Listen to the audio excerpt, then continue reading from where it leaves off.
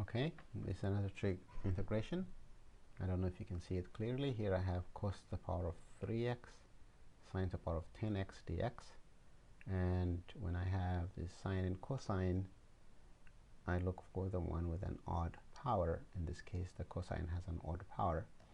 And I split that one of the cosines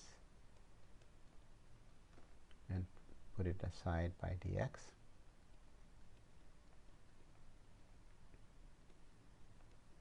and I'm setting it up so that this becomes du. Meaning u is sine x. So I need to change that to a sine expression but nicely that cos squared x is 1 minus sine squared x. 1 minus sine squared x.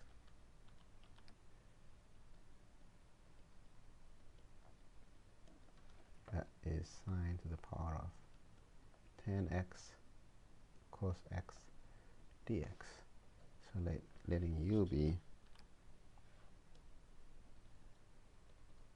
sine x, then du becomes cos x dx. So the original integral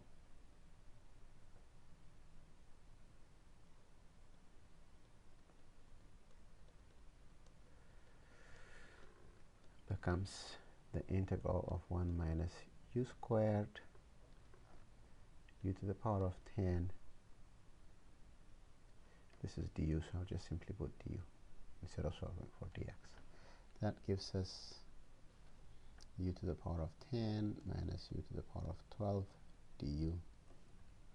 This gives us u to the power of 11 over 11 minus u to the power of 13 over 13 plus c have better handwriting than this, but on this uh, uh, device, I can't do any better. Actually, it's the software, not necessarily the device. So what do I have here? I have sine the power of 11x over 11 minus sine the power of 13x over 13